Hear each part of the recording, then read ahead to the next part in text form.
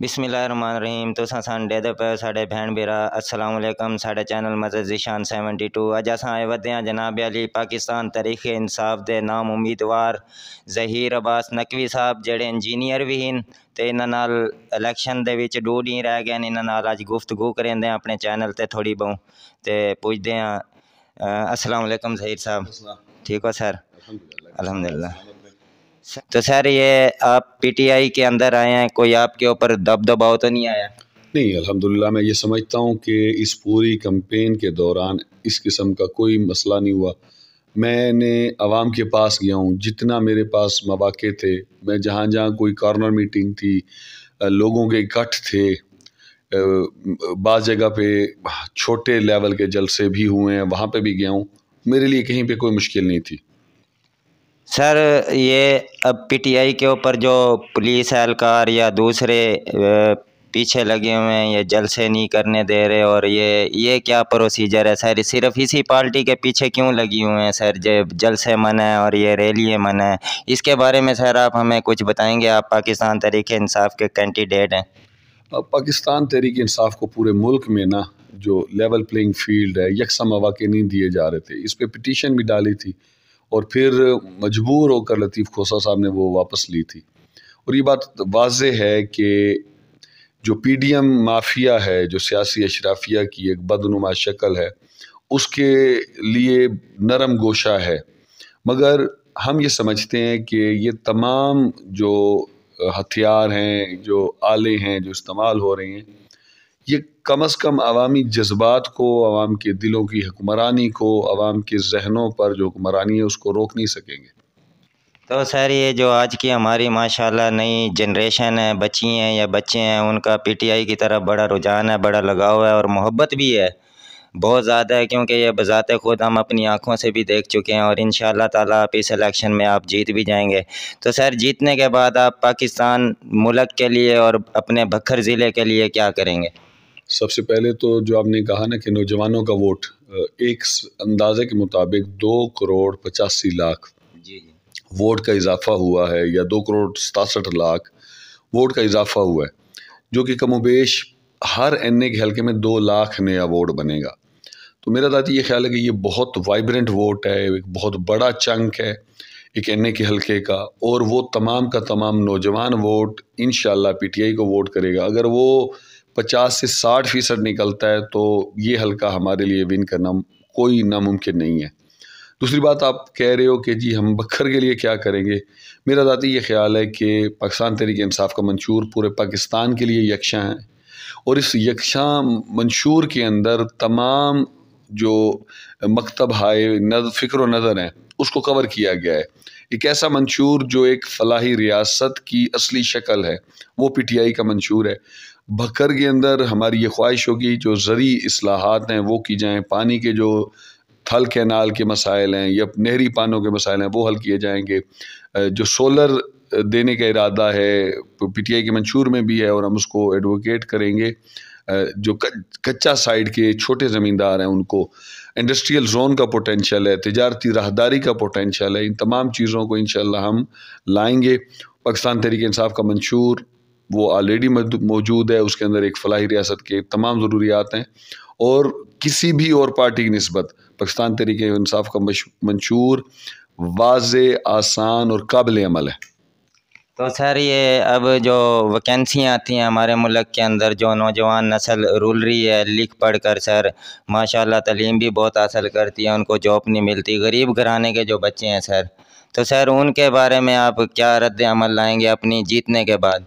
क्योंकि सर, बेरोज़गारी हमारे मुल्क में बहुत है। अब एक टाइम का है, गरीब के घर दो टाइम का नहीं है। तो जीतने के बाद सर, अब गरीब गरीब के लिए क्या सहूलियात निकालेंगे ज़िले बकर के अंदर?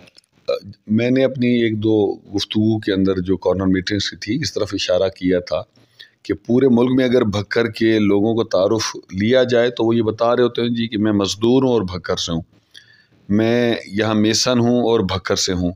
यानी कि एक ऐसी लेवल की जॉब जो किसी भी हवाले से नामुनासिब हो सकती है, मज़दूर तबका सबसे ज़्यादा भक्कर से है। समझना ये होगा कि क्या भक्कर के लोगों को उनके हकूक़ दिए गए हैं उनके दरवाजे तक? क्या तालीमी हकूक़ दिए गए हैं? क्या रोज़गार के मौाक़े दिए गए हैं? नहीं, ऐसा नहीं हुआ। चालीस पचास साल की गफलत है, जिसको एक टर्म के अंदर पूरा नहीं किया जा सकता। मगर हमारी तवज्जो है। जैसे मैंने कहा इंडस्ट्रियल जोन का पोटेंशियल भक्कर में मौजूद है।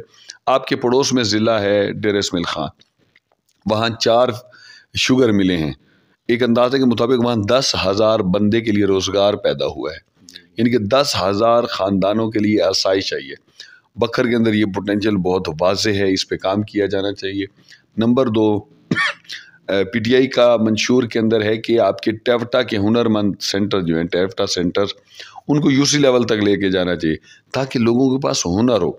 अगर उनके पास हुनर होगा तो पूरे पाकिस्तान में वो अपने हुनर की बुनियाद पे अच्छा रोज़गार कमा सकते हैं और इंटरनेशनल मार्केट के अंदर भी जा सकते हैं। लिहाजा हमारी ये कोशिश होगी कि हुनरमंद बनाएँ, ज़रात के हवाले से किरदार करें और तजारती राहदारियाँ सी पैक के हवाले से भी यहाँ अगर उनकी कोई तजारती राहदारी का पोटेंशल है, उसको मुमकिन बनाना एक अहम हमारा हदफ होगा। इन तमाम चीज़ों को जब हम लेंगे तो इन रोज़गार के मौाक़े मिलेंगे, खुशहाली आएगी और आम फ़र्द तक इसका फ़ायदा पहुँचेगा। और सर, जब एम पी ए या एम एन ए किसी भी अजला के हों, वो इलेक्शन जीत जाते हैं, कोई गरीब उनके डेरे पे जाता है, अर्ज़ के लिए कोई मसला मसाइल होता है तो उनके जो सेक्रेटरी होते हैं, वो बोलते हैं, खान अभी इधर नहीं है, खान इधर गया हुआ है, उधर गया हुआ है, मिलते नहीं हैं, यानी कि गरीब से टाल मटोल करते हैं। तो सर, इस बारे में आप क्या कहेंगे? आप गरीब के लिए, अब गरीब ही आपको सपोर्ट कर रहा है सर, क्योंकि आप पी टी आई के कैंडिडेट हैं। तो इस वक्त आपका सर रुझान बहुत है पीटीआई की तरफ़ और आवाम का भी बहुत ज़्यादा है। तो सर, जब जीतने के बाद अगर आवाम आपके पास कुछ अर्ज़ लेके आती है तो आप शाना बिशाना चलेंगे? सबसे अहम बात तो ये है भाई कि अब पूरा पाकिस्तान एक नज़रिए की बुनियाद पे वोट दे रहा है। अच्छा नज़रियाती सियासत पूरे मुल्क में थी, अब भक्कर में भी वो अपने पूरे अरूज पे है।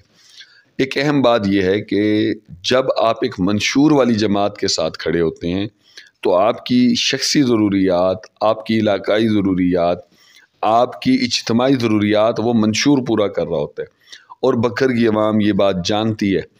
अच्छा एक और बात यह है कि पाकिस्तान तहरीक इंसाफ, क्योंकि मजलूमों की आवाज़ है, लामहला उसने मजलूमों के साथ खड़ा होना है।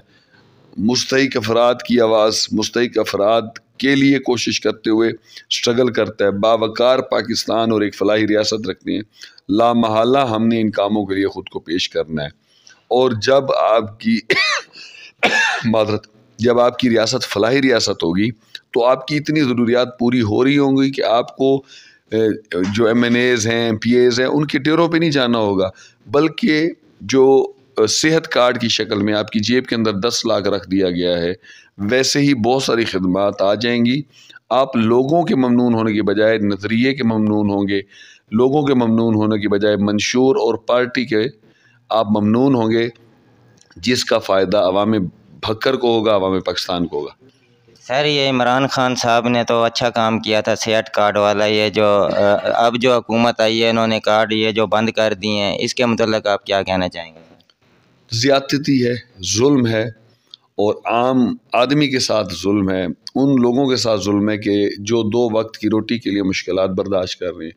उन लोगों के साथ जुल्म के, जिनके घर अगर बीमारी आ जाए तो फिर फ़क्र भी आ जाता है, गुर्बत भी आ जाता है, फाके की नौबत भी आ जाती है। हम ये समझते हैं कि रियासत को अपनी ये ज़िम्मेदारी पूरी करनी चाहिए थी। हर फ़र्द तक तालीम, शेल्टर और सेहत ये पहुंचानी चाहिए थी। अब उनकी कोताहीियों को पूरा करने के लिए अगर आवाम अपने वोट का हक दे दे इमरान खान को तो ज़रूर ये पूरा होगा। सर वोट का आप, आप कैसे लेंगे सर? हम का बदला वोट से लेंगे आप। ये एक हकीकत है कि दो नौ अप्रैल 2022 से जो आवाम ने अपने सब्र का इजहार किया है जो खौफ के मुकाबले में ज़रूरत का इजहार किया है अब आवाम के पास पाँच साल में एक दफ़ा जो मौका आना है वो आने वाला है। आठ फरवरी का दिन होगा वफ़ाओं और मोहब्बतों का इजहार होगा और अहल वफा ही को कामयाब करने के लिए पूरे पाकिस्तान से अवाम पोलिंग स्टेशन की तरफ़ आएगी। अहलियत की बुनियाद पर मंशूर की बुनियाद पर, कप्तान के साथ खड़े होने की बुनियाद पर सबसे ज़्यादा वोट पाकिस्तान तहरीक इंसाफ के नामजद उम्मीदवारों को मिलेगा। इन ये पाकिस्तान का इसकाम होगा। ये एक आज़ाद जमहूर की मोहब्बतों का इजहार होगा और ये एक अवामी हुकूमत बनने जाएगी। सर, मेरा आखिरी सवाल है। जो हमारे पाकिस्तानी बहन भाई गैर ममालिक में और पाकिस्तान के अंदर जो मौजूद हैं, उनको कोई हमारे चैनल पे मज़र ज़ीशान सेवेंटी टू पर कोई मैसेज देना चाहते हैं आप?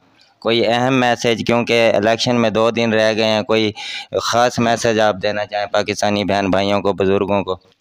सबसे पहले तो मैं ये कहूँगा कि पाकिस्तान जिस नज़रिए की बुनियाद पर बना था, यानी कि पाकिस्तान का मतलब क्या? ला इला इस तरफ़ मुतवजह हूँ। ये इस्लामी जमहूरिया है। ये एक ऐसी एक ऐसी धरती माँ है कि जिसको हमने एक आज़ाद रियासत के तौर पर बावर करवाना है। साथ ही साथ, एक बावकार पाकिस्तान के लिए कानून और आइन की बालादस्ती इंतहाई ज़रूरी है। इंसाफ की फराहमी तबकाती निज़ाम की तरह ना हो, बल्कि इंसाफ होता हुआ भी नज़र आए और इंसाफ अपनी पूरी रूह के साथ इस्टबलिश भी हो। इन इकदाम के लिए हम कोशा थे, कोशा हैं और कोशा रहेंगे। आपने अपने हिस्से का काम करना है। इमरान खान ने अतमाद का इजहार कर दिया है। अब अवाम भक्कर ने अतमाद का इजहार करना है। आपने ये देखना है कि एक आम क्लास का, एक मिडिल क्लास का बंदा जो मौरूसी सियासत, सियासी अशराफिया के मुकाबले खड़ा हो गया है, आपने अपनी ताइद उसको देकर आवाम की आवाज़ बनना है। आवाम की नुमाइंदगी को ताकतवर करना है।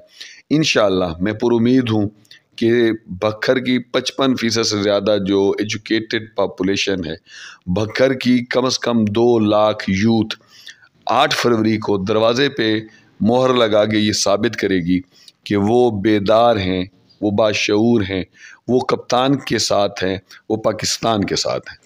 सर, पर्ची का रंग जो है, ये भी आप बताएँगे। कई लोगों को पता नहीं है कि बड़ी जो सीट पे है, उसकी पर्ची का रंग क्या है और छोटी सीट पे जो है, उसकी पर्ची का रंग क्या है? ग्रीन पर्ची, सब्ज रंग की पर्ची जो होती है, वो बैलेट पेपर, एन के उम्मीदवार के लिए और सफ़ेद जो है, वो सूबाई उम्मीदवारों के लिए। लिहाजा, दरवाज़े का निशान हो और वो सब्ज़ बैलेट पेपर पे हो तो आप समझें कि ये इमरान खान की मोहब्बतों की इजहार की जगह है। Thank you very much sir बहुत शुक्रिया।